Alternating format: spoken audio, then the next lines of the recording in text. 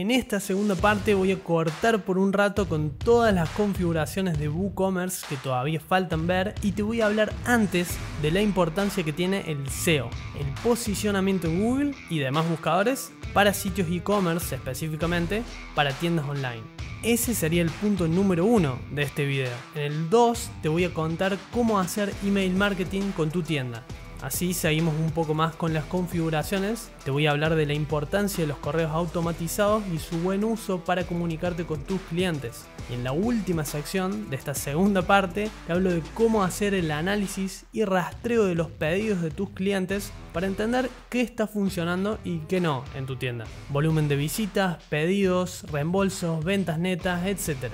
Pero empiezo por el SEO vas a ver que viendo algunas estadísticas te podés dar cuenta rápido de lo importante que es hacer SEO para tu tienda. De hecho, de acuerdo a SEMrush, más del 37% del tráfico que llega a tu tienda online viene de buscadores como Google. Es decir, un gran porcentaje de los consumidores empieza su búsqueda por un producto usando motores de búsqueda. Otro gran porcentaje lo hace a través de diferentes marketplaces, como es el caso de Amazon, eBay, Mercado Libre o el que fuera todos los grandes sitios han sabido aprovechar el SEO para que potenciales clientes los encuentren fácilmente cada vez que hacen una búsqueda. Dicho eso, te diría que para crear una buena estrategia SEO para tu tienda online, empieces por hacer una búsqueda de palabras clave exhaustiva. De eso es de lo primero que te quiero hablar dentro del SEO. Búsqueda de palabras clave.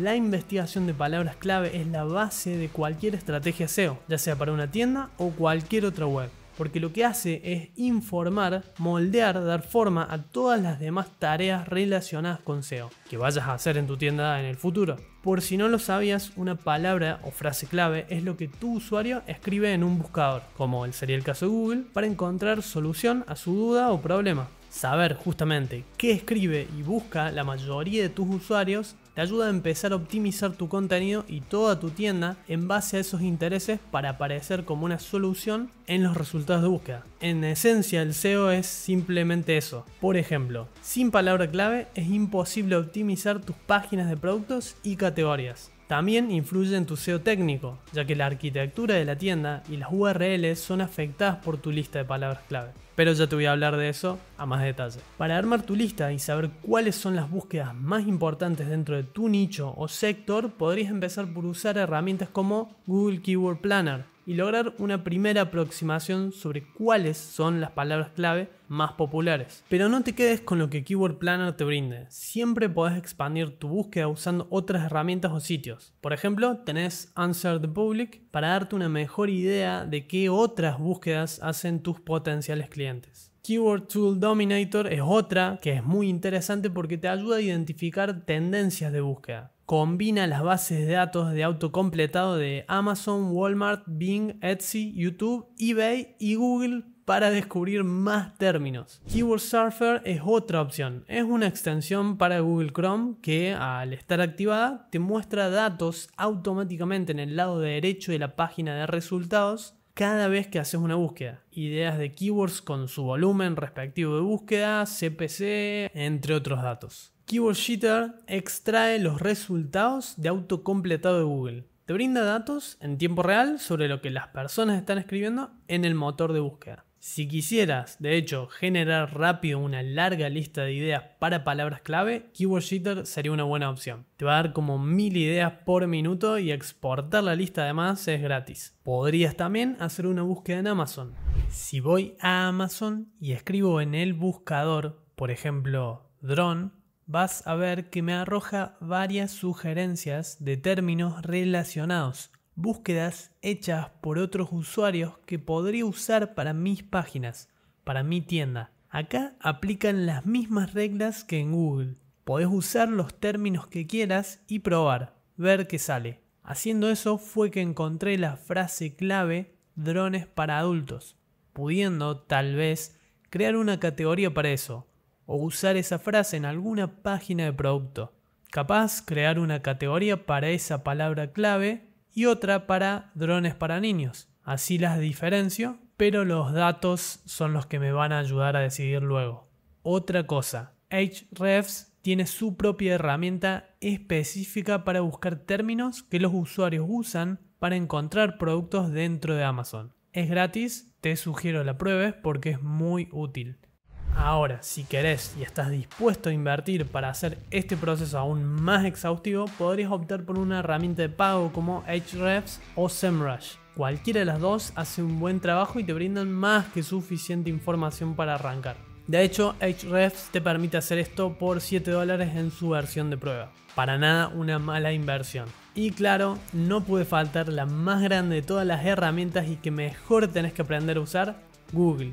Aprender a usar bien el autocompletado de Google, las sugerencias que brinda, las preguntas, los diferentes snippets, todo lo que ves dentro de los resultados es información relevante. Ya te voy a enseñar de forma práctica en un minuto por qué. Tenés variedad de herramientas gratuitas que te pueden servir. El punto es que aprendas a usarlas para armar una lista comprensiva de palabras y frases para darles un orden según volumen de búsqueda, dificultad para arranquear, para ganarle a tu competencia, entre otros puntos de interés. También sería importante que diferencies entre palabras clave transaccionales y palabras clave informacionales. Una palabra clave informacional tiene por intención buscar información, tal y como el nombre dice. La persona que hace uso de este tipo de palabra clave busca informarse sobre algo, cómo reparar un televisor, qué edad tiene X celebridad, formas de ganar más dinero, etc. Son todos ejemplos de frases clave informacionales. Las palabras clave transaccionales, por otro lado, tienen por objetivo una compra, una transacción. La intención de la búsqueda puede ser tanto comprar un producto como contratar un servicio, comprar zapatillas Nike, laptop, HP, precios, etc.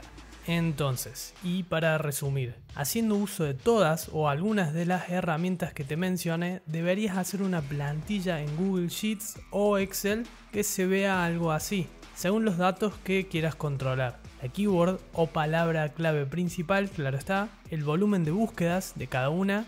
La mayoría de las herramientas que te mencioné te brindan ambos datos y después empezar a analizar la competencia en cada caso. Si son webs grandes y establecidas, o si se trata de blogs con poco contenido, para lo cual vas a tener que dirigirte a las SERPs, a los resultados de búsqueda para cada frase que te interese. Mientras más específica sea la keyword, tu frase clave, más fácil va a ser posicionarte primero. Es más fácil posicionarte para comprar zapatillas de buena calidad baratas que para comprar zapatillas. Supongamos que quiero usar la palabra clave cámara digital haces la búsqueda en Google, pero como no es muy específica, vas a ver que tiene demasiada competencia. Sitios como Amazon y Mercado Libre ya están entre los primeros lugares.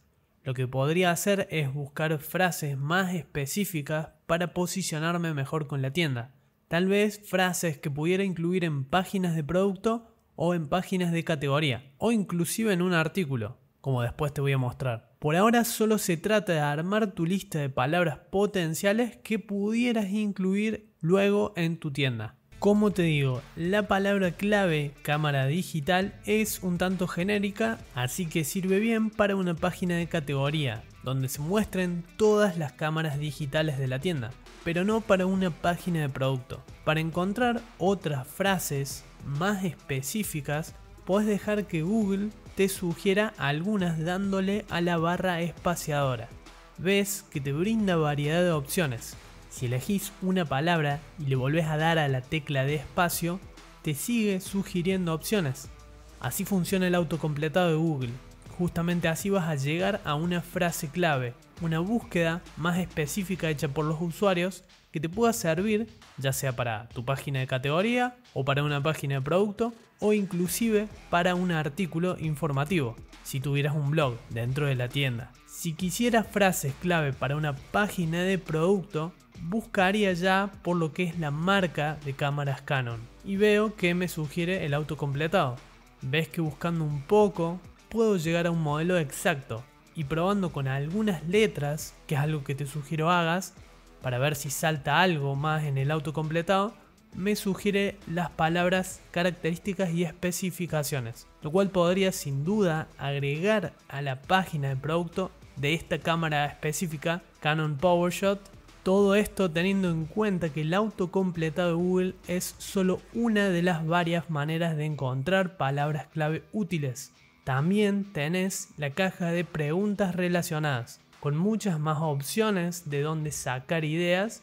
Ya te enseño a reconocer cuáles serían mejor para una página producto de categoría o para un artículo. A su vez, y por último, dentro de las SERPs, de los resultados tenés también las búsquedas relacionadas para todavía más ideas. Por otro lado, y para darle un orden a todas las frases y búsquedas que encuentres, tenés las herramientas que te mencioné antes. La que te voy a mostrar acá es el planificador de palabras clave de Google, que te va a permitir darle un orden a tu lista. Lo que harías es hacer una cuenta, para la cual tenés muchos tutoriales en YouTube, después haces clic acá para descubrir nuevas palabras clave e ingresas el término que quieras para que te brinde datos del volumen de búsqueda y una lista de frases relacionadas. Voy a usar el término genérico cámara digital para que salgan muchas. Le vas a dar a ver resultados y te va a mostrar una lista bastante comprensiva de términos que puedes usar para tu lista. Podés ordenarlas por el volumen de búsqueda, ves que tenés muchas, y podés exportar toda la lista a Google Sheets o a Excel, donde prefieras. Yo la voy a enviar a mi unidad de Google Drive para trabajarla en Google Sheets. Ya me sale de hecho acá. Así puedo empezar a acomodar los datos y eliminar los que no necesites, limpiar un poco la tabla, así como las palabras clave que no me interesen. Este sería un primer vistazo de cómo podés empezar a explorar tu nicho o sector para mejorar el SEO de tu tienda. Es la base de toda la estrategia que viene. Recuerda que con las demás herramientas que te mencioné antes, vas a tener más que suficientes datos para pasar a la próxima parte de este video. Recuerda, el objetivo es armar tu lista de palabras clave para que tus clientes encuentren tu tienda. La idea de este paso es juntar cuantas frases sean relevantes y darles un orden, al menos acomodarlas por volumen, por cantidad de búsquedas al mes las que más búsquedas tienen suelen ser términos más cortos que pueden servir para una página de categoría. En la siguiente parte te muestro cómo usar esta lista para mejorar el SEO de tu tienda online un poco. El segundo punto dentro del SEO es la arquitectura de tu tienda. La arquitectura de una web o cómo se organizan y ordenan las páginas de tu tienda en este caso es un aspecto importante del SEO para cualquier tipo de web realmente. Pero es todavía más importante para un e-commerce. Esto es así porque una tienda online en promedio suele tener muchas más páginas que un blog o una web corporativa, incluyendo las categorías y subcategorías que a su vez cada una puede tener docenas, si no cientos de páginas. El orden y la relevancia en ese caso pasan a ser clave. Hay dos reglas que deberías seguir y te pueden ayudar en este sentido. Primero, mantener las cosas simples y segundo, no superar los tres clics para que tu visita llegue al producto que está buscando. Este sería un ejemplo de cómo no estructurar tu sitio. Necesitas demasiados clics para llegar al producto o inclusive a la categoría de productos que te interesan. Una mala experiencia para el usuario y por tanto una mala estrategia SEO. De hecho, y para que tengas como referencia, a medida que tu arquitectura web es más profunda, más se diluye la autoría de las páginas o posts que se encuentran al final, más abajo digamos. Por tanto, menos chances de rankear, de posicionarse tienen. Este sería un ejemplo de un sitio e-commerce bien optimizado en lo que a arquitectura SEO se refiere. Pocos clics para llegar al producto que sea, una buena experiencia de usuario y por tanto bueno para el SEO de tu tienda. Sabiendo ahora cuáles son las palabras clave más interesantes para posicionarte, podés empezar a armar la arquitectura de tu tienda, empezando por las páginas de categorías y de producto. Voy a crear una estructura plana para que haya pocos clics desde la página de inicio hasta el producto que el usuario quiera encontrar. Lo que haría en el caso de Mundo Tecno es crear páginas de categoría y luego optimizar las páginas de producto, una a una. Una línea directa a mis productos mejor vendidos o más importantes sería convertir esta sección en enlaces que lleven a su respectiva página de categoría para mostrar los productos que hay dentro de cada una de estas categorías. Mira, es fácil una vez lo entendés. elijo un término para mi página de categoría que suelen ser palabras con más búsquedas porque son términos más cortos. En este caso va a ser cámara digital o cámaras digitales. Y voy a elegir una frase para una página de producto, que en este caso va a ser la cámara PowerShot que te mostré en el paso anterior, que encontré usando el auto completado de Google. Y voy a usar categorías así como etiquetas para facilitar la búsqueda de los usuarios en mi tienda y crear las páginas. El tema de la arquitectura web es importantísimo y por eso me extiendo mucho más sobre esto en la parte 3 del tutorial de WordPress. Así que si te interesa aprender a fondo sobre el tema, mira ese video, te va a quedar más claro. Una aclaración que sí quiero hacerte. Acá voy a hacer una configuración simple para no complicarla tanto. Lo ideal sería tener páginas de categorías personalizables, donde puedas modificar el contenido como quieras, mostrar los productos de forma dinámica y optimizar al máximo todo pero como eso lleva más tiempo y la idea es que primero entiendas lo básico de categorizar tus productos y ordenar tu tienda, no me voy a extender demasiado. Voy a profundizar en este tema en un próximo tutorial. Recordá que cada categoría tiene su propia página y cada producto también. La idea de esto es mejorar lo que se pueda haciendo cambios simples. Lo ideal, como te dije recién, sería crear páginas más personalizables. Lo primero realmente sería crear tus categorías, si es que no lo hiciste ya. Si no, mira la primera parte de este curso. También vas a necesitar tener productos en tu tienda, algo que puedas categorizar, ordenar.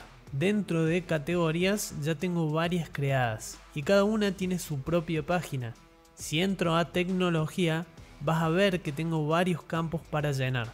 De hecho, escribí una pequeña descripción, algo que también podés hacer para agregar algunas palabras clave a esta página fácilmente y así optimizarla un poco. Para que veas cómo se ve, si voy ahora a la tienda y elijo un producto que tenga la categoría tecnología, como es el caso de este lente Canon, puedo dar clic a la categoría desde las migas de pan y me lleva a la página de categoría que contiene su título, la descripción que recién te mostraba y una lista de productos que tienen justamente esta categoría, que la comparten. Hasta ahí bien, el tema es que no tenés muchas opciones para personalizar esta página salvo la descripción y algunas cosas más. Lo que sí deberías hacer es categorizar bien los productos Tecnología como palabra clave es muy general, en tu caso usa el estudio de palabras clave del paso anterior para elegir el nombre de tu categoría y subcategorías si tuvieras. Lo que sí te voy a sugerir es que cambies la URL, que es lo que figura acá arriba, para hacerla más entendible tanto para el usuario así como para los motores de búsqueda. Volvés al escritorio, vas hasta ajustes y das clic en enlaces permanentes. Acá es donde elegís cómo querés que se vean las URLs de tu tienda. Para las páginas de categoría te sugiero cambies este campo para que se entienda mejor. Este otro es para lo que serían las etiquetas. Puedes hacer lo mismo. Y yo ya había cambiado el de productos. También podrías dejar que tome el que viene por defecto y estaría bien. Haciendo estos cambios vas a ver que si volvés a tu tienda y navegas un poco, ahora las URL, así como el orden de las páginas, se entiende un poco más. Lo que faltaría es poder personalizar más las páginas de categorías, lo cual podés hacer a través de código PHP o podés esperar al próximo tutorial que saque sobre el tema. Recordá también agregar etiquetas a tus productos para que el usuario pueda encontrarlos con facilidad e incorporar un buscador para lo cual te recomiendo el plugin Ajax for WooCommerce de Search. Lo instalas y activas y le permitís que reemplace cualquier buscador que tengas activo si es que estás usando uno. Le das clic a saltar y después le permitís que reemplace cualquier buscador que tengas activo si estás usando como yo, en este caso el tema Astra, y guardas los cambios. Por último, faltaría añadir el enlace desde la home la página de inicio a cada página de categoría, para lo cual tendría que ir a la categoría en cuestión, buscar su página, en este caso voy a usar cámaras digitales como ejemplo, copiar la URL completa, volver a la página de inicio y darle clic a editar página. Si elijo ahora el bloque de imagen, vas a ver que la opción de pegar el enlace no se encuentra a la derecha sino en la barra de herramientas. Le das clic al icono, pegas el enlace que habías copiado y después le das a la flecha. También te brinda la opción si querés que se abra en otra pestaña. Ahora, si vuelvo a la página de inicio y pruebo el enlace, ves que funciona perfecto. El tercer punto sería el SEO on page.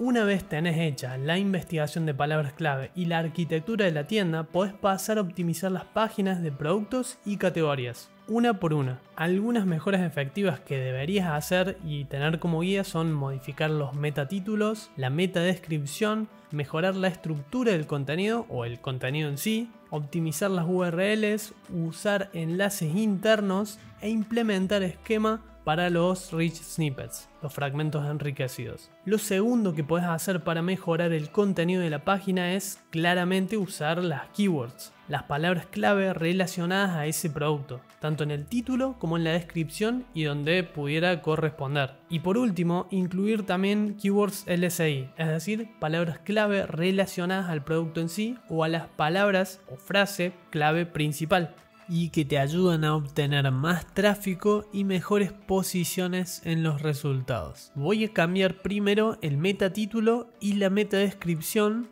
que son los que aparecen en los resultados de Google y te ayudan a mejorar el CTR, es decir, la cantidad de clics que obtenés por parte de los usuarios en los resultados. Para modificarlos fácilmente puedes usar el plugin Yoast SEO. Lo que haces es ir a plugins, añadir nuevo y lo buscas. Yoast SEO. Este plugin te ayuda a modificar ambas cosas en cada artículo o cada página de producto que vayas a crear. Te da directivas respecto a cómo mejorarlos o para que no te pases de la cantidad de caracteres. Primero le das clic a saltar. Te va a llevar a la pantalla del plugin voy a eliminar algunos de los mensajes que salen, los voy a quitar. No es necesario que modifiques ninguna de las configuraciones, al menos por ahora. Puedes dejar todo como está por defecto. Ten en cuenta hay tutoriales en YouTube si quieres aprender a usarlo bien. Por ahora lo que quiero que hagas es ir a alguno de tus productos, por ejemplo, si entro en los detalles de la computadora gamer, vas a ver que ahora me agregó esta casilla por encima de datos del producto, donde me brinda varios datos relacionados al SEO de la tienda. Pero donde quiero que te concentres es acá, que es donde puedes cambiar y mejorar el metatítulo y la metadescripción, lo que se va a ver en los resultados de Google. La idea es que los mejores para conseguir el clic que las personas hagan clic en tu resultado y no en otro te ayuda a mejorar tu posicionamiento dentro de los resultados de hecho.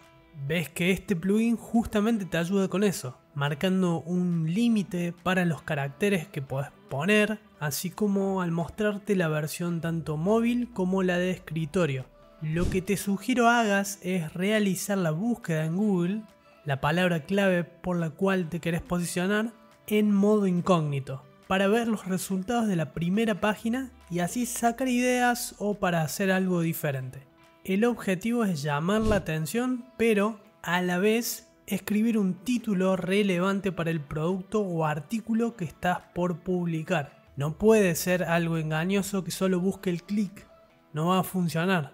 Así lo mismo con la meta descripción y ya con eso estarías cumpliendo el primer paso de esta SEO optimización en tu tienda online. Deberías procurar que el contenido de tus páginas supere al menos las mil palabras, ya que según algunos estudios ese es el número ideal al cual deberías intentar apuntar, lo cual puede ser difícil en todas y cada una de tus páginas de producto pero podrías intentarlo en los productos más importantes al menos. Lo segundo que podés hacer para mejorar el contenido de la página es claramente usar las keywords, las palabras clave relacionadas a ese producto, tanto en el título como en la descripción y donde pudiera corresponder. Y por último, agregar keywords LSI, es decir, palabras clave relacionadas al producto en sí o a las palabras o frase clave principal. Ya te las mostré antes, las podés encontrar usando Google o Amazon, por ejemplo. Mirá, Empieza por asegurarte que tu título es correcto e intenta incluir algunas palabras clave importantes en la descripción. Lo que puedes hacer es usar el autocompletado de Google que te mostré antes. Dejando que Google me sugiera palabras fue que encontré características y especificaciones, como una frase clave relevante para este caso, para la descripción de este producto. Es un ejemplo simple, pero que ilustra lo que te quiero mostrar. Usando el título de tu producto o viendo qué han usado otros marketplaces, podés encontrar muchas frases relacionadas para brindar más contexto. Después sería cuestión de incluirlas en la página de producto, siempre y cuando tengan sentido. Recuerda que también podés sacar ideas de las búsquedas relacionadas, que ofrecen más términos relevantes para tu contenido así como las preguntas relacionadas. Ves que en este caso tenés varias preguntas que tal vez podrías usar para un artículo o para una página de producto. Después buscaría incluirlas en la descripción, siempre y cuando, como te dije antes, tenga sentido. Y con eso estaría ampliando en general la riqueza semántica de la página. Otro punto importante que te mencioné antes respecto al SEO on page es hacer que tus URLs sean cortas y contengan las palabras clave indicadas. Cuida esos dos aspectos respecto a tus URLs y vas a estar bien. Cambiar tus URLs es fácil. Lo haces desde acá, haciendo clic en editar. Incluí la palabra o frase clave por la cual te querés posicionar y evita poner términos de más. Es decir, no la hagas más larga de lo necesario. La idea es hacerla entendible tanto para el usuario así como para los motores de búsqueda. Crear enlaces internos a tus páginas más importantes es otra manera de mejorar los rankings. Si tenés un post o artículo bien posicionado en Google, bastaría con enlazar desde ese artículo a una de tus páginas de producto que quieras posicionar mejor y asegurarte que el texto ancla sea relevante, al menos como primera medida. Claro que después podés volverte más sofisticado en tu estrategia de enlaces internos. Lo que harías es ir a tu artículo o post posicionado en Google, suponiendo que tengas uno, si no sabes cómo posicionar un artículo, te dejo mi video al respecto acá arriba. Ya dentro del texto del contenido de este artículo posicionado, debes agregar lo que se conoce como texto ancla, el enlace que lleva a la página de producto en cuestión, que querés empujar para que mejoren los rankings. Con la ayuda de este enlace, seleccionas el texto, das clic en el icono de enlace, deja todas las opciones como salen por defecto Sí te sugeriría indiques que se abra en una nueva pestaña y después agregas la URL de la página de producto. La copias y la pegas dentro de la casilla. Listo. Con eso creaste un enlace interno dentro de tu tienda desde un artículo posicionado en Google que atrae visitantes hacia una página de producto que querés promocionar y a la vez posicionar mejor en Google. Una última manera de destacar en los rankings de Google y generar más clics es usando Rich Snippets. Al usar esquema en tus páginas de productos. Esquema es un código que le da a los motores de búsqueda como Google y Bing una comprensión más profunda del contenido de tu página. Si bien no está garantizado que Google vaya a mostrar tus fragmentos enriquecidos, tus rich snippets, solo porque se lo pidas, el esquema de marcado mejora bastante tus probabilidades. Podés configurar manualmente el marcado de esquema, pero no es tan fácil. Te recomiendo que uses el asistente de marcado de datos estructurados de Google. En otro tutorial pienso mostrarte cómo hacerlo. Si no, claro, siempre podés explorarlo por tu cuenta. 4. Seguimos dentro del SEO. Ahora voy con el SEO técnico. Si este es un aspecto clave en toda web, lo es aún más en el caso de una tienda online. Como suelen ser sitios con muchas páginas que tienen cosas en común, surgen de tanto en tanto problemas técnicos en el SEO. Por eso hacer auditorías de forma regular es importante en este caso. Usa la herramienta que quieras, gratuita o de pago, idealmente más más de una para hacer un análisis general del estado total de la tienda. Empecé por las más básicas como Google Analytics y Search Console. Y cuando puedas, pasa a algunas un poco más avanzadas, como Screaming Frog, SEMrush o Hrefs. Realmente hay varias opciones. Problemas con contenido duplicado o falta de contenido, la velocidad de carga de la tienda en general, mejorar tus metatítulos o descripciones son todas cuestiones comunes que suelen surgir en una auditoría. Lo mejor sería que vayas por partes, porque cada una tiene su propia solución. Por ejemplo, el contenido duplicado es uno de los problemas más comunes en muchas tiendas. Sería contenido sencillamente que se repite. Si tenés contenido duplicado, páginas que se repiten o que son muy similares, tu primera opción es no indexar páginas que no traen tráfico pero que causan este tipo de problemas. Una vez que hayas desindexado todas las URL que correspondan, podés usar lo que se conoce como etiquetas canónicas una etiqueta canónica simplemente le dice a los motores de búsqueda que ciertas páginas son copias exactas o ligeras variaciones de otra página. Cuando un motor de búsqueda como Google ve una etiqueta canónica en una página, sabe que no debe tratarla como una página única. Así evitas que la considere como contenido duplicado, lo cual trae problemas en lo que hace posicionamiento y al SEO. Esta guía de Google te puede ayudar si querés comprender mejor el tema, te la dejo en la descripción. Como ves, prestarle atención al SEO técnico es importante, ya que el contenido duplicado puede afectar seriamente el rendimiento en los rankings. Usar una arquitectura SEO amigable para tu web acá es donde también rinde frutos porque no solo hace fácil la navegación para el usuario, sino también para los robots de Google, al momento en que rastrean tu tienda para indexarla, para mostrarla en los resultados de búsqueda. También podrías incorporar las migas de pan para hacer que tu sitio sea todavía más claro en su estructura. Eso se debe a que las migas de pan agregan automáticamente enlaces internos a categorías y páginas en tu sitio, lo que ayudaría a solidificar la arquitectura de tu tienda, sin mencionar el hecho de que Google ha convertido las URL en una especie de migas de pan en las SERPs cada vez que alguien hace una búsqueda.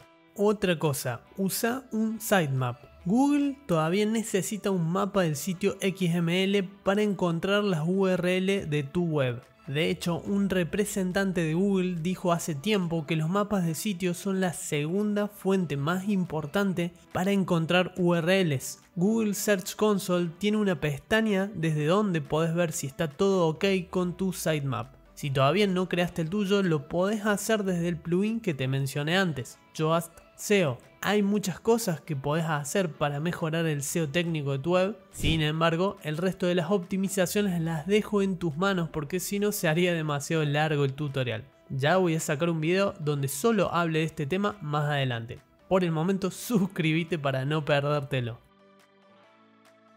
5. Marketing de contenidos. Hacer marketing de contenidos es la estrategia al momento de atraer mucho tráfico a tu tienda y conseguir ventas. Implementar el uso de contenido para mejorar tus rankings es fácil. Crea un blog para tu tienda y después de eso crea muy buen contenido para lo cual debes empezar por definir con la mayor precisión posible quiénes son tus clientes, tu audiencia objetivo y dónde se congregan en Internet. Busca foros, grupos de Facebook, usa Reddit, Google, YouTube, lo que sea para aprender más sobre cuáles son sus inquietudes, dudas, consultas y problemas respecto a tu industria o sector. Después, usa lo aprendido para crear contenido relevante para tu audiencia y que a la vez haga uso de la búsqueda de palabras clave que hiciste al principio. Mucho trabajo, ya sé, pero bueno, todas partes importantes de la estrategia total SEO que deberías implementar. Por último, link building para e-commerce. Podés encontrar variedad de métodos para crear enlaces externos a tu tienda y así ganar autoridad ante los ojos de Google para posicionarte mejor. Es, diría, el último paso a considerar, pero no por eso el menos importante. De hecho,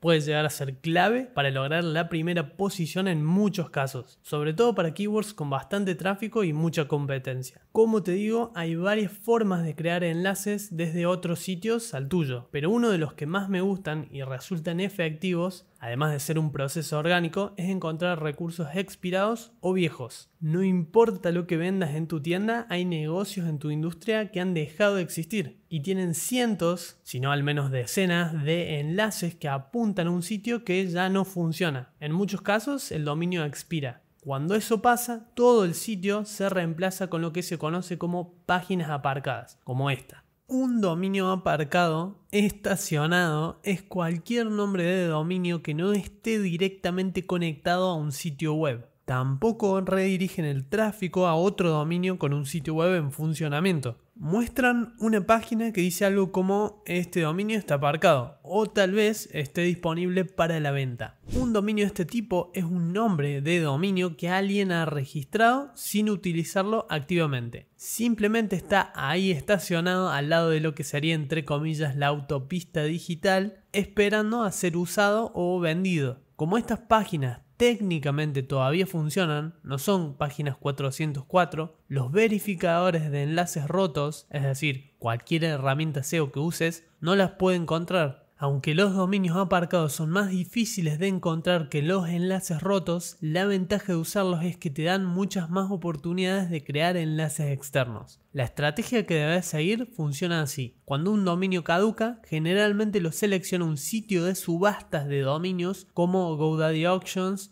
Namejet o Flipa. Estos sitios recogen dominios que tienen algo que vale la pena vender, ya sea tráfico, backlinks o ambos y los organizan en un solo lugar para que sean fáciles de encontrar y analizar. Intenta encontrar un dominio barra sitio dentro de tu sector relacionado a tu industria y analízalo para encontrar webs que apuntan, enlazan al sitio expirado. Pásalo por una herramienta como Ahrefs, chequea los dominios que refieren al sitio, fíjate en los links que apuntan a cada una de las páginas y empezá a armar una lista para contactar a cada web que ha creado un enlace al sitio caído y brindarles un reemplazo por cada enlace roto o desactualizado, ofreciendo el tuyo en su lugar claro una estrategia orgánica que lleva trabajo y cuesta dinero, pero puede resultar muy eficaz. Y esta es solo una de las muchas estrategias que podés implementar para conseguir enlaces externos a tu tienda. Ahora sí, vamos con el punto 2 y dejamos atrás el SEO email marketing. El marketing por correo electrónico suele tener un ROI significativamente más alto que otros canales de marketing.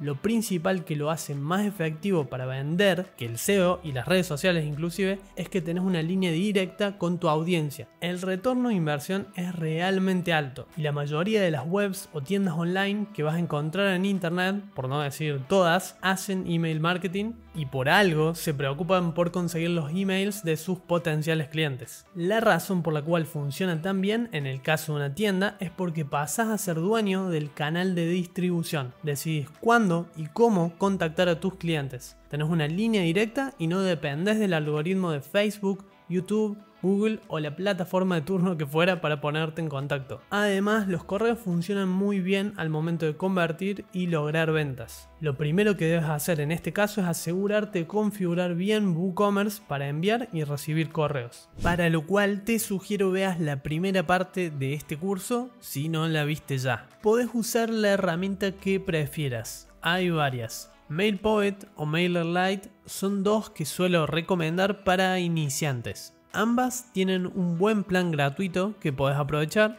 Te dejan usar todas sus funciones si tenés hasta 1000 suscriptores en tu lista de correos. Además, las dos plataformas tienen interfaces amigables, entendibles para quien jamás ha hecho email marketing antes. Es cuestión de explorarlas un poco y familiarizarte con algunas cosas, nada más. Igualmente ahora te muestro cómo funciona. Sendinblue y Amazon son otras dos opciones que últimamente recomiendo. El tema de Amazon es que es muy barato, pero debes aprender a configurarlo para poder usarlo. El tema del envío de correos en internet, más allá del email marketing, es casi un mundo aparte. Te digo esto para que sepas no es un tema menor, te recomiendo las plataformas que te mencioné porque estas empresas se encargan de gran parte de los problemas técnicos que surgen o pueden surgir cuando empezás a enviar correos de forma masiva. Por defecto, cuando instalas WordPress, el sistema usa PHP para enviar tus correos que es de hecho el lenguaje de programación con el cual fue construido WordPress. Aunque eso no está mal para una web básica, que no recibe muchas notificaciones, no es lo ideal para una tienda online. Ten en cuenta que WordPress no es una aplicación nativa de email,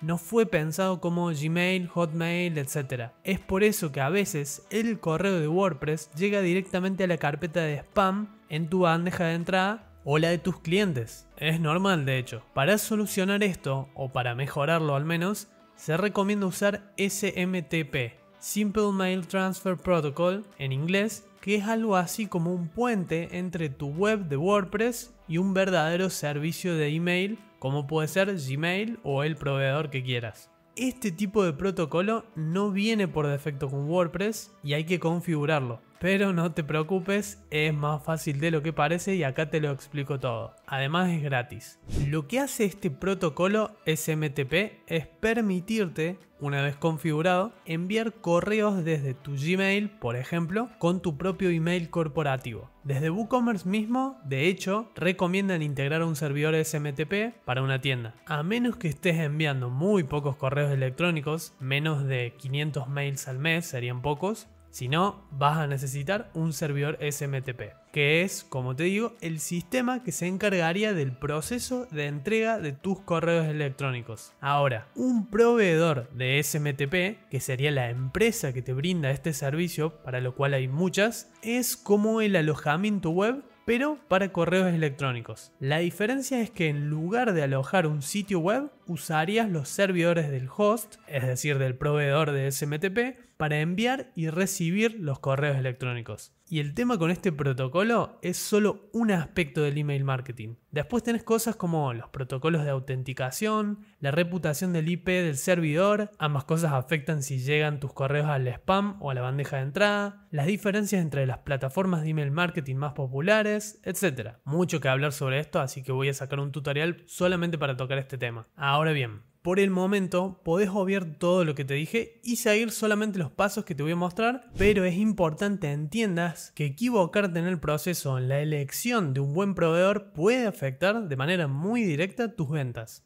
Así que estudia este tema y presta atención a los pasos que te voy a mostrar. Para este tutorial en particular voy a usar MailPoet, pero te sugiero hagas tu propia investigación sobre el tema. Como te dije antes, MailPoet se integra bien con WooCommerce y te permite hacer cosas típicas como recuperar carritos abandonados mediante correos de recordatorio, automatizar campañas de email, personalizar tu plantilla de correos y tiene su propio servicio de SMTP. Así que con este solo plugin ya tenés todo el sistema en uno. Ten en cuenta, sí, que MailPoet, así como muchos otros servicios, manejan su precio en relación a cuántos suscriptores tenés en tu lista. Hay otros proveedores que ofrecen planes basados en la cantidad de mails enviados al mes como el caso de Sending Blue. La diferencia está, entre otras cosas, en cuán seguido pensás comunicarte, contactarte con tus clientes para decidir por ahí con qué plataforma ir.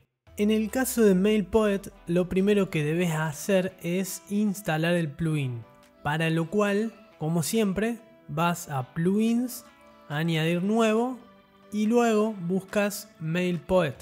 Te van a figurar varias opciones pero el plugin correcto es este, actualizado hace apenas 5 días y con más de 600.000 instalaciones activas. Lo instalas y luego lo activas y vas a ver que se incorpora al escritorio de WordPress con todas las opciones necesarias para crear tu newsletter, tu boletín de mails automatizados. Si das clic en MailPoet, te va a llevar a la configuración del mismo, no es realmente necesario completar todos estos datos, ya que luego lo vamos a ir haciendo paso a paso. Igualmente puedes hacerlo si querés y así una cosa menos. Empiezo por la sección de correos electrónicos, que es donde configuras los diferentes tipos de correos que podrías enviar a través de MailPoet a tus clientes. Tenés el boletín de noticias para novedades, promociones o comunicaciones varias con tus clientes. Después está el correo electrónico de bienvenida, que sí te sugiero dejes configurado porque es el primer mail que un cliente recibe cuando se suscribe a tu newsletter. El correo que avisa cuando se han publicado nuevas entradas, nuevos posts, artículos en tu tienda para que tus clientes los visiten. Y los correos de reenganche, que tienen por fin llamar la atención de suscriptores que hace tiempo no interactúan con tus correos. Luego estarían los correos específicos para WooCommerce, como es el correo de carrito de compra abandonado que podés configurar para que se envíe una hora o X cantidad de días después de que se agregó un producto al carrito, para enganchar de nuevo al cliente y que finalice la compra. O los correos de primera compra hecha, así como aquellos que son específicos para una categoría de producto o para un producto determinado inclusive. MailPoet también te permite personalizar tus correos un tanto más, así como hace WooCommerce y te mostré en la primera parte de este tutorial. Si le doy clic a crear, va a cargar una serie de plantillas que puedo elegir para los correos. Hay algunas bastante elaboradas, en este caso yo voy a ir con una bien simple de ejemplo. Una vez la elegís, le das clic a seleccionar y te va a llevar a un video explicativo que no es necesario veas. Podés ahora empezar a modificar la plantilla el formato del correo que les va a llegar a tus suscriptores. Como ves, se trata de un constructor visual muy intuitivo y el mejor estilo de bloques, donde te permite cambiar el texto y su apariencia, modificar el logo o el contenido en general, pudiendo agregar inclusive imágenes si quisieras. También puedo agregar otros tipos de contenido como logos de redes sociales en caso de que tengas cuentas y elegir un estilo para cada uno. Son realmente variadas las modificaciones que puedes hacer gracias a esta especie de constructor visual para tus plantillas de correo que MailPoet ofrece. Una vez hayas terminado, puedes guardarlo como una plantilla para usarlo en otra cadena de correos y darle a siguiente te va a llevar a esta pantalla donde podés seleccionar la lista a la que pertenece esta plantilla de correo que acabas de crear. Ya te voy a hablar de las listas en un minuto. Paciencia. Debes llenar también el remitente, nombre y correo que hacen el envío, así como el nombre y correo a donde querés que lleguen las respuestas de tus suscriptores. Puedes programarlo o hacerlo parte de una campaña de Google Analytics algo un poco más avanzado. Una vez elegís la lista, puedes darle clic a enviar, pero en este caso no quiero enviarlo, así que lo voy a guardar como borrador, para que quede listo para cuando quiera usarlo dentro de mi boletín, de mi newsletter. Un proceso muy similar se da cuando querés configurar los correos de WooCommerce a través de MailPoet. En el caso del correo que se envía cuando queda el carrito abandonado, te permite elegir el tiempo que querés pase para que se envíe este mail, este correo. Luego te permite elegir, como antes, una plantilla para este correo en particular, la cual vas a poder modificar a gusto como ya te mostré, todo de manera visual, y vas a poder guardarla como una plantilla para usarla después. También vas a tener que llenar los datos como hice antes y puedes guardarla como un borrador para usarla más adelante. Con eso te das una idea de cómo funcionan los correos electrónicos dentro de MailPoet y lo que puedes hacer.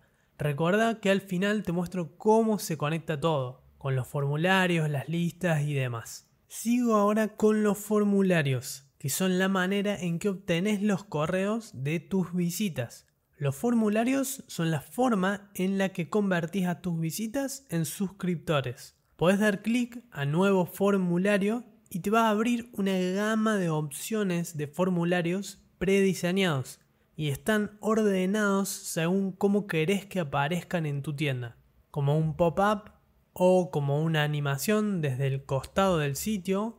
También puede ser como una barra fija encima del contenido o debajo de las páginas, que puede ser un modo menos intrusivo de mostrarlo. O también a través de widgets, para colocarlo en el sidebar, en la barra lateral, por ejemplo. Yo voy a elegir debajo de las páginas y voy a seleccionar este modelo. Te va a llevar a este otro video tutorial, yo lo voy a saltear y acá tenés el formulario que vas a poder modificar libremente ya que todo lo que ves no son más que bloques, bloques de Gutenberg que puedes cambiar. En este caso, yo lo voy a dejar todo tal y como está. Pero si quisieras, podrías usar los bloques y sus propiedades para cambiar cómo se ve y hacerlo, por ejemplo, más similar al resto de tu web.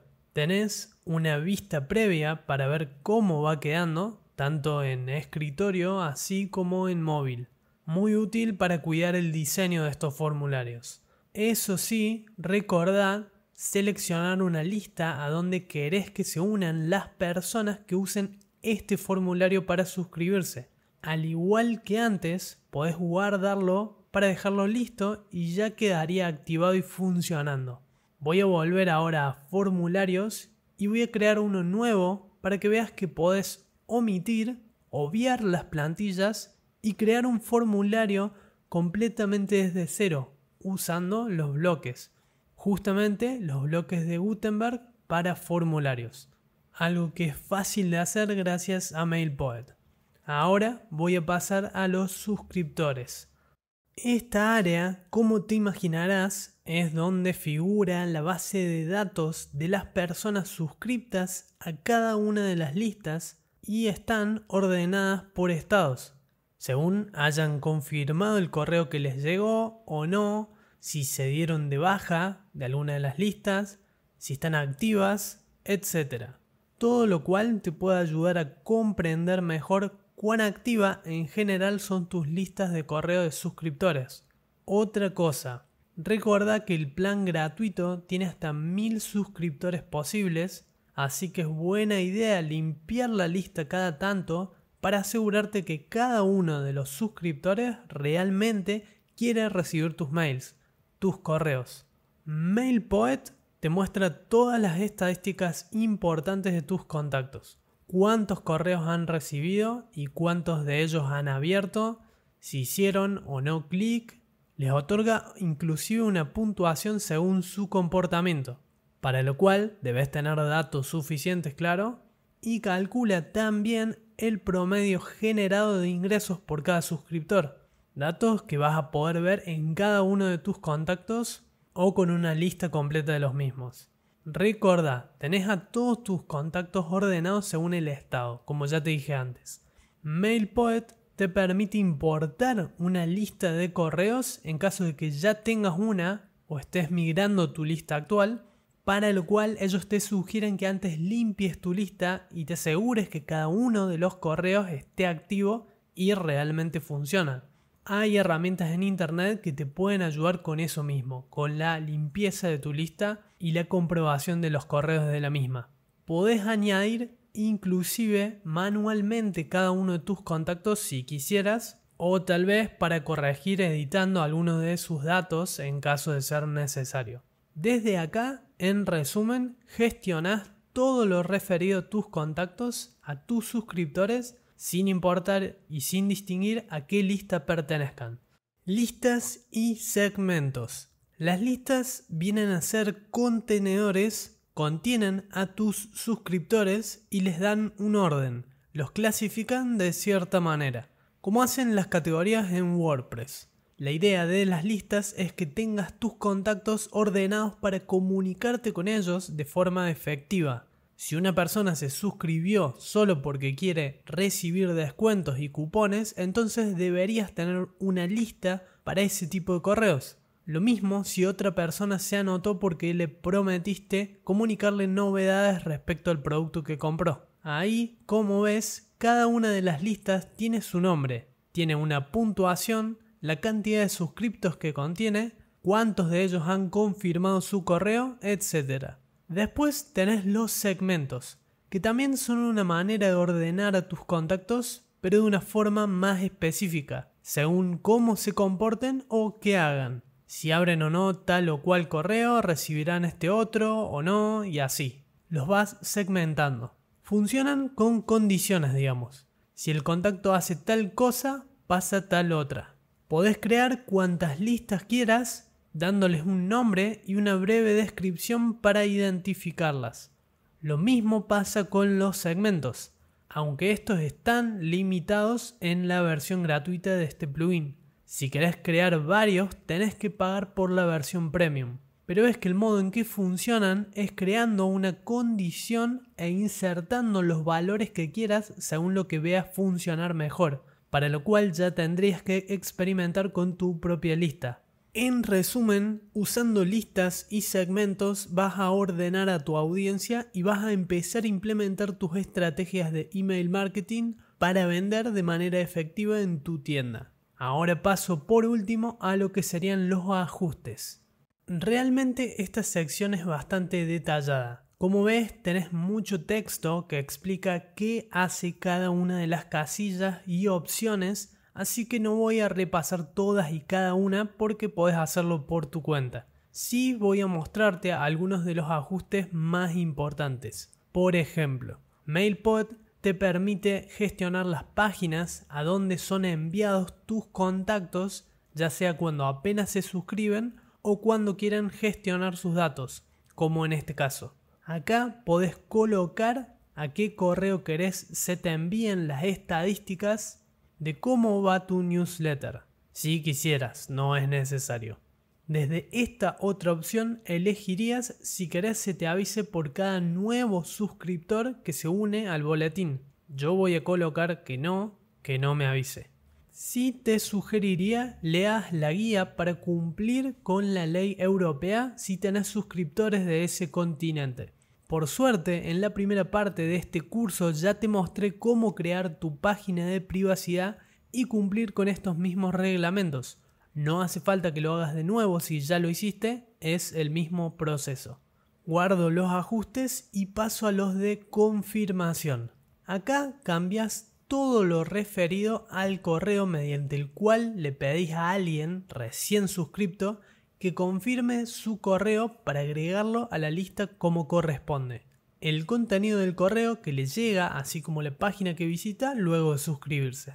En esta otra sección de los ajustes, elegís si querés enviar tus correos con el servicio de MailPoet o con los de un tercero. Claro que voy a elegir MailPoet, hace lo mismo. Cuando des clic acá te va a llevar a la clave de activación para que la agregues. Otra cosa, estos son los protocolos que te mencioné antes, los protocolos de autenticación, están incluidos. Lo que sería la clave de activación la conseguís creando una cuenta en MailPoet, para lo cual tenés que darle clic a Account y luego a Sign Up Now. Vas a tener que poner un correo y elegir una contraseña y tildar esta casilla. Así te va a llegar un correo como este donde vas a tener que confirmar haciendo clic en el enlace. Y ya con eso vas a tener tu cuenta, que se ve algo así. Lo siguiente que debes hacer es darle clic a Add Plan y elegir el plan free, el plan gratuito, para que conecte tu cuenta con el mismo antes de poder empezar a usar MailPoet. Te va a hacer llenar un simple formulario colocas lo que sería la dirección de tu tienda o web, marcas alguna de estas opciones que figuran debajo según corresponda y le das clic a Submit. Ya está, te va a llevar a esta pantalla donde vas a poder autorizar el correo con el cual vas a hacer los envíos de tu newsletter, con el cual vas a hacer efectivamente email marketing. Ya te muestro cómo crearlo, así tiene tu dominio y se trata de justamente un mail corporativo. Por ahora le voy a dar clic acá abajo para que me muestre la clave de activación, que es esta. Le doy clic para copiarla, vuelvo a las opciones de ajuste del plugin, la pego y le doy a verificar para que la active. Y ya con eso por ahora estarías. Si ya tuvieras tu correo corporativo creado, entonces acá lo colocarías para que MailPoet lo use para enviar tus correos. En un minuto igualmente te muestro cómo hacerlo con SiteGround. Listo, la clave es válida. Dentro de WooCommerce tenés algunas opciones más que te sugiero explores. Se explican por sí solas qué hace cada una. Y en avanzado la misma situación. Acá, por ejemplo, podés elegir la dirección de correo a donde querés se envíen las notificaciones en caso de que los mails reboten. Ahora sí, voy a autorizar un nuevo correo, uno corporativo con el nombre de la empresa, para que veas cómo se hace. Lo primero va a ser ingresar a tu cuenta de SiteGround y luego dirigirte a sitios web para encontrar tu tienda. Le vas a dar clic a Site Tools, herramientas del sitio, te va a llevar a esta otra pantalla que despliega varias opciones. Vas a elegir email y después vas a hacer clic en cuentas. Acá es donde vas a poder crear tus cuentas corporativas de correo que usen el dominio de tu tienda, de tu empresa. Solo tenés que darle un nombre, el que quieras, yo voy a usar la palabra soporte, y luego elegir una contraseña. Intenta que sea segura. Una vez lo hayas hecho, le das clic a crear y listo.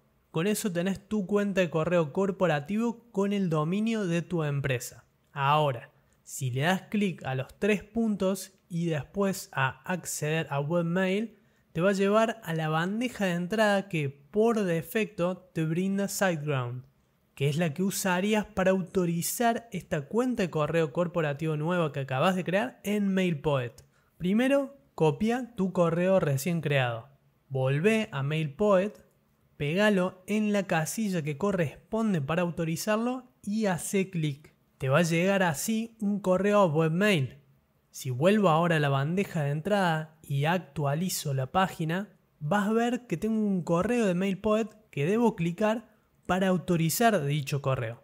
Listo, con eso ya quedaría autorizado para empezar a usarlo. Lo único que faltaría es volver a los ajustes básicos de MailPoet para cambiar lo que sería el remitente por mi nuevo mail corporativo. Al intentar hacer el cambio te va a salir esta leyenda. Puedes probar a actualizar la página o darle clic. El punto es que modifiques este mail y guardes los cambios para que estos sean permanentes. El remitente debe corresponder con el correo que acabas de crear. Te dejo el enlace a la documentación donde te explica todo esto en mayor detalle. Lo único está en inglés, así que deberías usar la extensión de Chrome, Google Traductor, si no entendés qué dice pero en términos generales son los pasos que acabo de seguir. Lo último que voy a hacer es activar esta newsletter para que empiece a funcionar. Voy a volver a formularios y voy a editar el formulario que había creado antes para que se muestre en todas las páginas que yo elija y así empiece a obtener suscripciones. Podés elegir si querés que se muestre en todas las páginas o únicamente en las que vos elijas. Yo voy a elegir algunas específicas, no quiero que se muestren todas. También podés optar por mostrarlo en las entradas y en las páginas de producto. Ya con eso estaría, podés guardarlo y después recorrer tu tienda para ver cómo se ve. Y de paso decidir si hay algo que quieras modificar, tal vez para hacerlo más llamativo y conseguir un mayor número de suscripciones. Realmente ya dependerá de tu estrategia de email marketing y de conversión. Mi sugerencia es que no seas demasiado intrusivo al momento de pedir por los correos de tus usuarios. Intenta proveer valor a cambio con tu newsletter si vas a pedirle a cambio sus datos de contacto. Recuerda que también tenés la sección de ayuda para obtener más información sobre lo que este plugin puede hacer y cómo solucionar algunos de los problemas más típicos que se suelen presentar.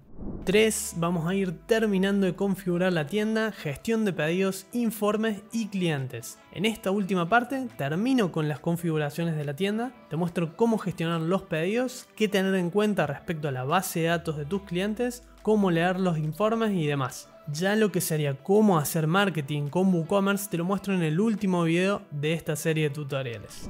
Empiezo por los pedidos, los cuales podés encontrar dentro de WooCommerce pedidos Acá van a figurar todas las órdenes de compra hechas por tus clientes, cada una con sus diferentes estados, que podés ver por cómo se muestran cada uno con un color distintivo, en espera, procesando, cancelado, completado, etc.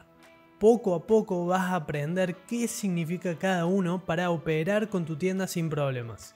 Si le doy clic al ojo me muestra una vista previa del pedido en cuestión con algunos datos de facturación y de envío, así como el método de pago, correo, teléfono y datos del producto que fue comprado o sobre el cual se hizo este pedido. Puedo inclusive marcarlo como completado de forma manual para que cambie su estado. de procesando a completado. Siempre es buena idea consultar la documentación de WooCommerce respecto a la gestión de pedidos en caso de duda, ya que es bastante extensa y se explica todo al detalle. También tenés un diagrama visual representativo de cómo funcionan los diferentes estados de un pedido dentro de WooCommerce. Te sugiero que lo consultes porque te puede ayudar a que quede todo más claro. Como podés ver, un pedido puede pasar por varios estados antes de estar completado. Como te digo, consulta la documentación en caso de duda, está todo acá. Ahora bien, para mayor información sobre un pedido, puedes ingresar dando clic al nombre de la persona. Así te va a llevar a esta pantalla, donde vas a tener todo lo referido a ese pedido en particular, inclusive la IP del cliente, así como la forma en que pagó. También está la información de la fecha de creación del pedido, su estado actual, el cual vas a poder cambiar también, los detalles tanto de envío como de facturación los cuales igualmente pueden ser modificados. También podés ver qué artículos ordenó que incluyan este pedido y el detalle de lo que pagó o debe pagar. Desde acá también se pueden gestionar los reembolsos, lo cual te permite hacerlo de forma manual desde el propio WooCommerce.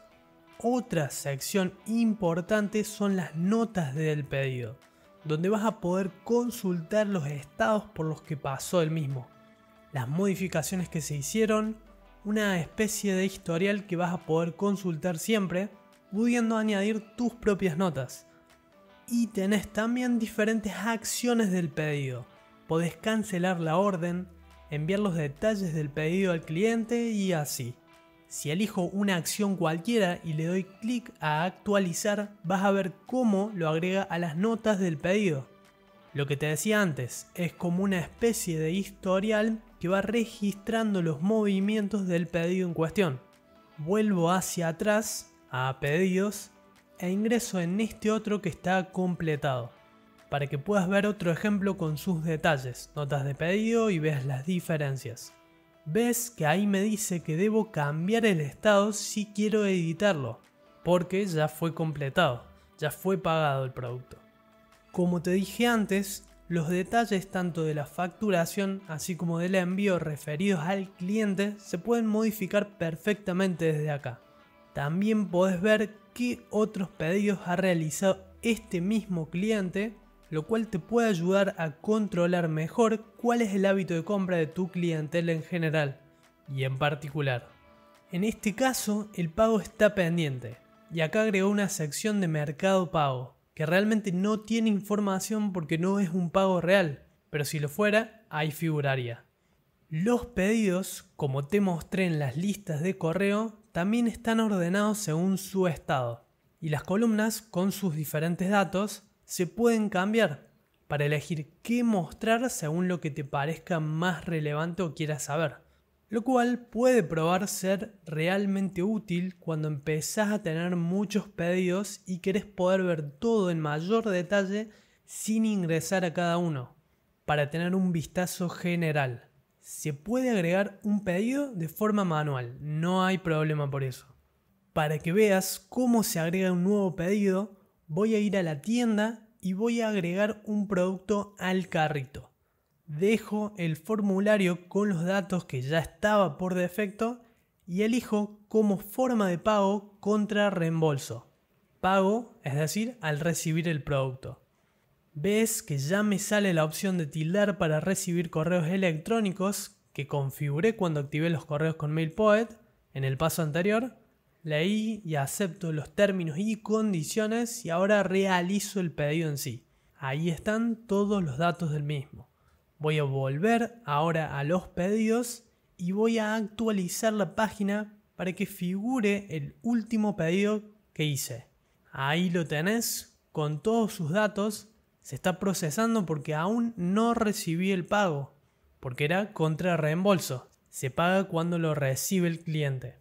Si entro a los detalles puedo ver todo y marcarlo, si quiero, como completado, si es que ya recibí el pago del producto por parte del cliente.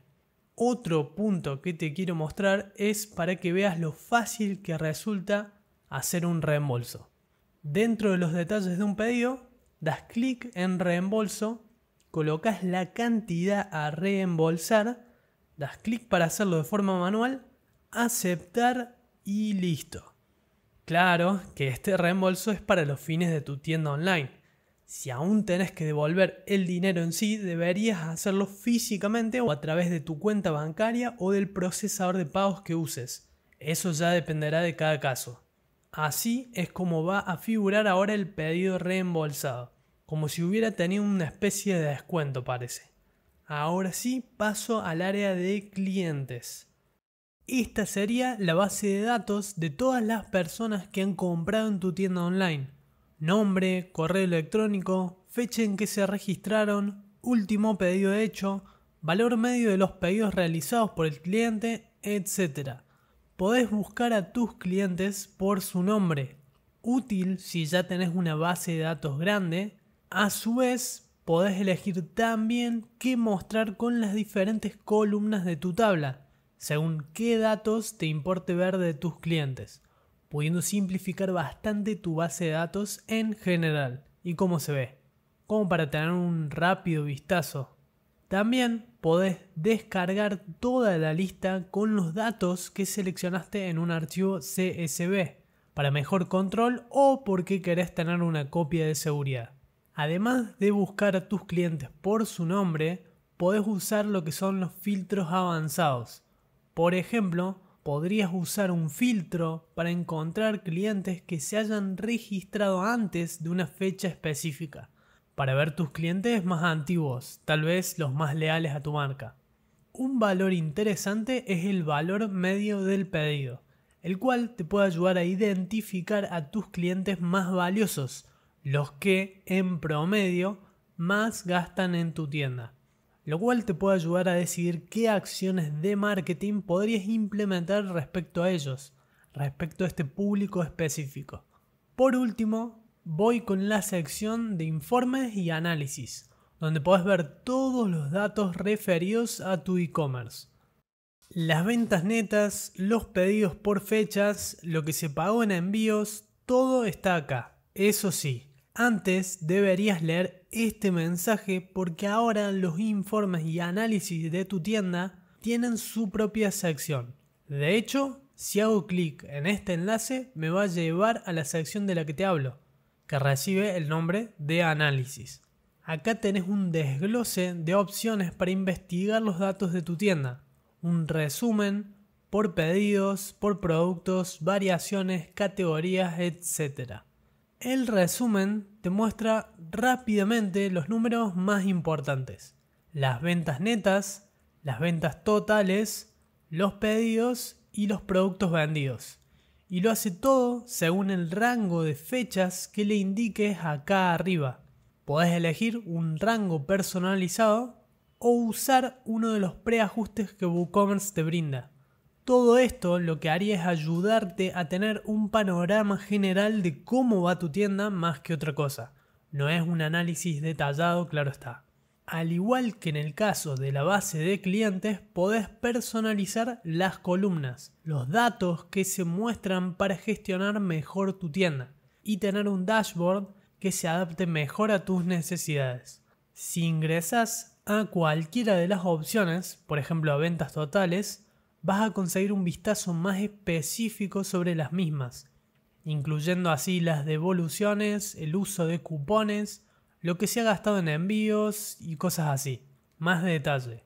Voy a volver atrás ahora a la vista de resumen y voy a quitar la opción que había agregado antes.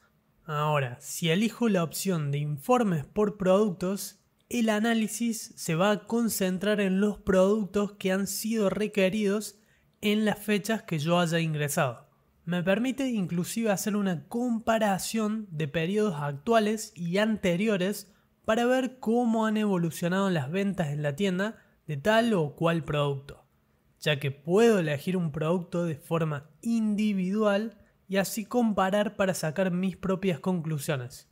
Una herramienta útil para saber qué se podría mejorar en la tienda. Ya en la sección de ingresos el enfoque va a estar en el dinero, en los montos que corresponden a cada categoría dentro de este e-commerce. Lo que se ha gastado en cupones, devoluciones, impuestos, ventas brutas, netas y totales. También podés comparar el rendimiento con periodos anteriores, al igual que en el caso de los productos. E inclusive podés descargar la lista a un archivo CSV para gestionar tu tienda offline, por ejemplo.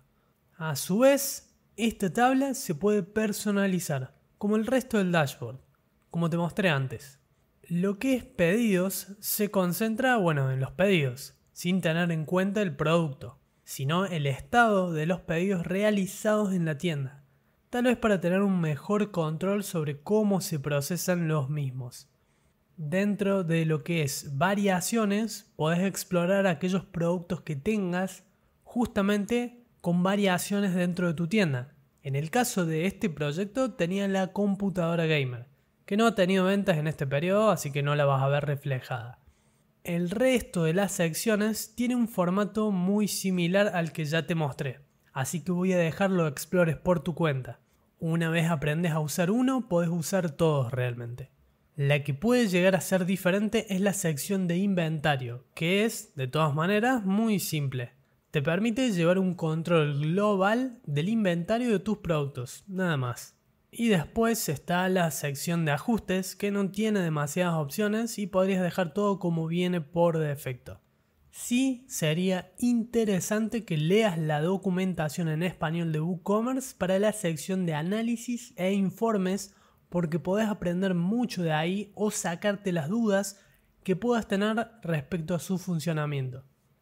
En la próxima y última parte de este tutorial sobre tiendas online te voy a enseñar algo muy importante, por no decir fundamental. Cómo hacer un rastreo y análisis de los datos del tráfico, de las personas que llegan a tu tienda. Ya no dentro de la misma tienda de WooCommerce, sino a través de Google Analytics y Search Console ambas herramientas gratuitas de Google que te sirven para mejorar tus resultados y optimizar todo al máximo. Te voy a contar sobre cómo mejorar la seguridad de tu tienda para evitar problemas, optimizar la velocidad de carga para mejorar la experiencia de tus usuarios y, como te dije antes, cómo hacer marketing con tu tienda a través del uso de cupones, así como algunas cosas un poco más avanzadas que te pueden interesar. Te veo en el próximo.